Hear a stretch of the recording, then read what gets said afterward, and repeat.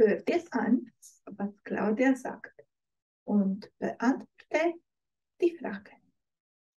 Acum suntem deja la a doi punctoi. Așa că ascultă cu atenție și răspunde la întrebări. Oh Mann, die Schule nervt mich gerade total. Die Lehrer lassen uns im Moment so viele Hausaufgaben machen. Und dann auch noch die blöden Prüfungen. Total nervig.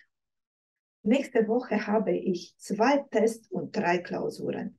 Wie soll ich denn dafür bitte lernen? Mein Tag hat doch auch nur 24 Stunden.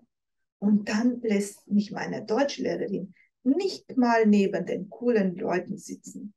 Sie sagt immer, ich mache das nur für euch, damit ihr nicht nur quatscht, sondern auch aufpasst, meint sie. Jetzt sitze ich neben Natascha und die ist total langweilig. Naja, immerhin lässt uns der Physiklehrer viele Experimente machen. Das ist ziemlich nice. Verstanden? Ein Celeste? Der Bär steht Responsabilität. Viel Spaß bei der Arbeit. A2, Punkt 2.